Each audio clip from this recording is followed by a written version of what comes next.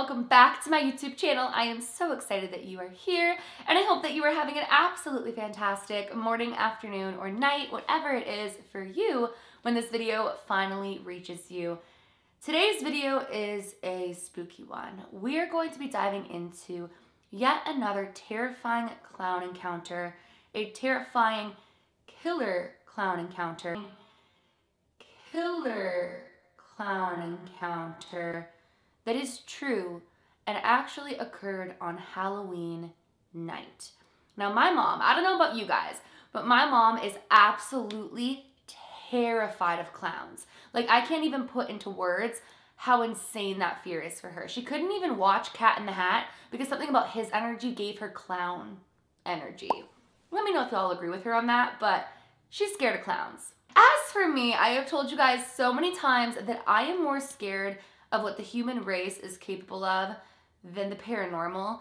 I'm more afraid when I hear true crime cases that just absolutely are disturbing or cases like this where things could have went even worse than they already did. And let's just say today's video is absolutely chilling. So without further ado, sit back, relax, maybe turn a light on, and let's get into this terrifying killer clown encounter.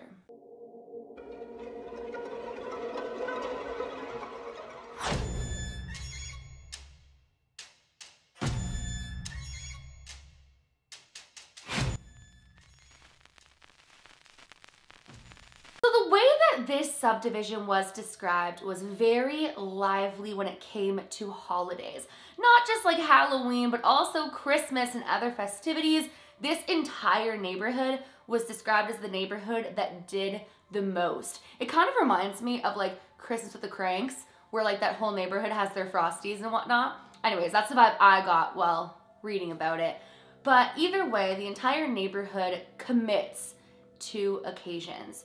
So, last Halloween, or last October, should I say, when clowns started appearing throughout the neighborhood during the day, afternoon, and even nights, people thought that it was just a show for the neighborhood. Now, this particular family, who did not disclose their name, said that they thought that it was just for entertainment purposes when they started seeing sinister looking clowns around the neighborhood. It took them back to that one year where like all these clowns were turning up like all over the world. And they kind of thought like somebody in the neighborhood was committed to giving like a spook for the month of October. These clowns weren't being reported causing any vandalism or terrorizing anybody. They were just scaring people. Now, some examples of how they were scaring people throughout the month of October were if you'd be starting your car in the morning, all of a sudden a clown pops up right in your window, giggles, and walks away, which traumatizing. I think they would have given my mother a heart attack. But just little things that people thought it was almost like they were turning the neighborhood into like a haunted attraction throughout the month. What was interesting was that there was never more than one clown at once seen by the neighbors. There was always just one clown, but in different clown outfits every time being seen. So they weren't certain as to whether or not it was one person or if it was multiple people throughout the neighborhood who had like come together and committed to this. But as I mentioned, because there was no vandalism, because they weren't actually causing any harm to anybody or threatening anybody, everybody just thought it was kind of cool and it became talk of the town in like the neighborhood. I think it was a Facebook page. I'm pretty sure it was a Facebook page, not like a group chat. I can't quite remember what I read, but it became like talk of the neighborhood, like who saw the clown today? What was the clown doing? But the clown started doing creepier and creepier things as Halloween was quickly approaching. Some neighbors got incredibly angry when they claimed that the clown popped up into one of their windows while they were doing the dishes and nearly gave them a heart attack, and others felt like the outfits with the clown were getting more and more disturbing. At first, it started out as like a clown you would see at a children's birthday party or a carnival, and then as it went on, there was like fake blood added to the clown's outfit, and the giggling was getting creepier, and they were just getting a little more invasive. So there were a couple people as time went on that despite being dedicated to the neighborhood fun were like, hey, where is this going and where do we draw a line? But for the most part, the neighborhood thought it was entertaining and was kind of playing a guess who of who was the person that was the clown. At one point, said clown asked to join this group. There was like a picture of the clown, but what was really creepy was the name that the clown tried to join in with was You're Not So Friendly Neighborhood Clown. Now, the group kind of went back and forth as to whether or not this person should be accepted, but they decided to accept them and try to like discover who it could be as they figured it was likely one of them. And all that this clown said was that by Halloween night, they would know exactly who it was who was behind the clown costume. Nobody in the neighborhood actually threatened the clown or went up to them and was like, hey, show me who you are or what the hell are you doing? They all just kind of avoided it or laughed at it or whatever the case was. But like I said, after they said you'd find out on Halloween who I am, the clown, the not so friendly neighborhood clown, never tunes back into the page, the Facebook group, whatever it is. You get the point. So it continues on and the neighbors are still guessing who it is. They're really excited for Halloween night to see who in the hell this was all along, kind of ask what their motive was and what their inspiration was and whatnot. So as I'm sure you could imagine, when Halloween rolled around, they were all very excited to, by the end of the night, find out who said clown was. Now, as I mentioned, this neighborhood was big on like Halloween, Christmas, all of the above. So they went off when it came to Halloween night. Some of the neighbors would do like haunted driveways, haunted garages. Trick or treating was super fun in this neighborhood. But one thing that's really important to note is that this was a more prestigious neighborhood. These were bigger houses with a lot of valuables in them, high income families, and these people had a lot of assets within their homes, which will come into play later on, I promise you of that. So as the night rolls on, trick-or-treating has commenced. There's all the cute little kid costumes. Everyone's interacting. The neighbors are having a great time. And this family, who didn't want to be named or doesn't want to be named, was saying that the night was coming to a close. There were fewer and further between trick-or-treaters. The little like haunted driveways and garages were slowly being shut down and packed up. And it felt like the night was coming to an end when they heard a strong bang, bang, bang on their door. The family, assuming that it was once again just a couple late night trick or treaters, opened up the door to see a very tall, very creepy looking clown standing right in front of them. They said this clown has a new outfit on from what they had seen throughout the month, but they had a weird feeling that it might be them and that they had their like fake blood like down their face and like down their costume as they thought it was. Um, and they just kind of stood there and said, treat, please. The family said, I'm sorry, what? And they said, You are the trick. I'd like a treat.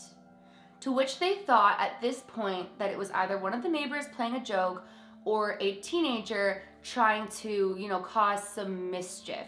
So instead of giving them anything, they kindly asked that whoever this was please leave their property.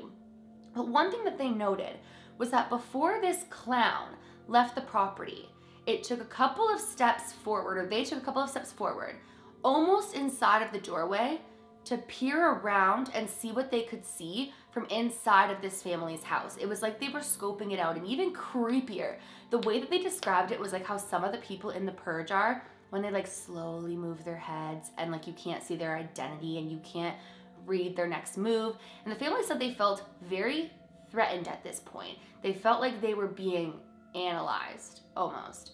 But after doing this slow scan of what they could see from the inside of the house, this clown slowly but surely retreated.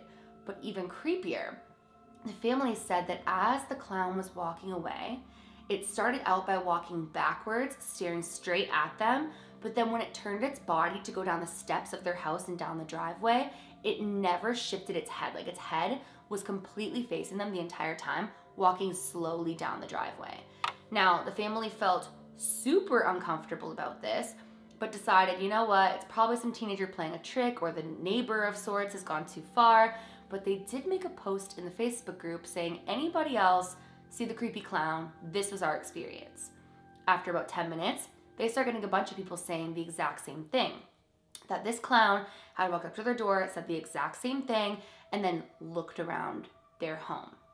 Trick or treating basically comes to an end they shut off all the lights, they're all getting ready for bed, getting situated, getting cozy, and eventually They seem to have forgotten about this experience with the clown.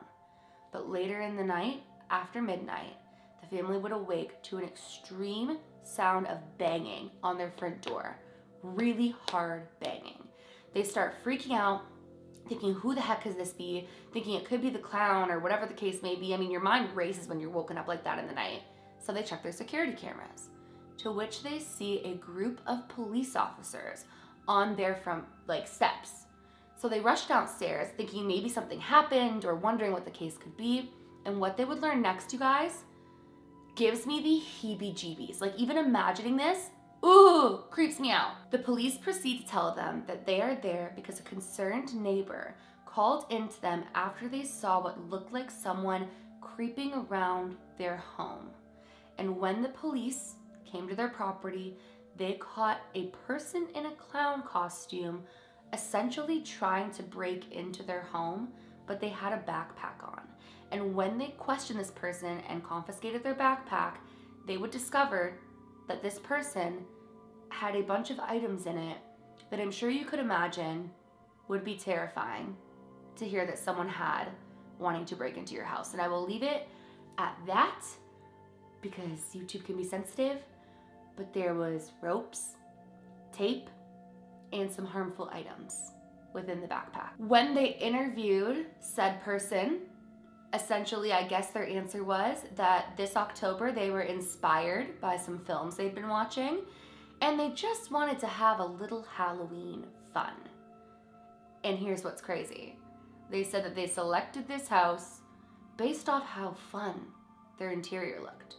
So it was almost as though this person was going trick or treating, checking out people's homes, and picking who they wanted to have their Halloween fun with.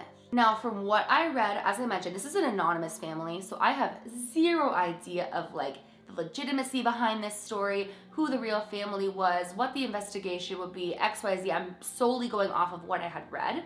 But at the end of what I read, it left off that it's still like an ongoing case and investigation and whatnot, and that they don't know the outcome yet, and that this individual doesn't speak very often besides the few things that they've heard. But either way, it freaks me the hell out. Needless to say, the family is safe and okay, and they said they were very grateful to their neighbors for being up and paying attention and calling it in, and for the police for acting so quickly. But that is basically the experience that happened on Halloween night. What do you guys think? Do you think this story or case is true? Have you heard about anything like this? Do you think it's just a story that was created to spook people out on Halloween, kind of make them a little weary of the trick-or-treaters? I mean, how rude! Those kids just want candy, but no, like honestly, do you guys think it's just a creepy Halloween tale? Do you think it's a true case? Definitely let me know down in the comment section below. And that is basically it for today's video. if you guys are new to my channel or you are just not yet subscribed you enjoy my content, I would seriously love it if you would go ahead and click that subscribe button. And please give this video a big thumbs up if you did enjoy it. Remember, my loves, do all things with kindness. And until next time, stay safe this Halloween. And I love you. See you tomorrow. Bye, guys.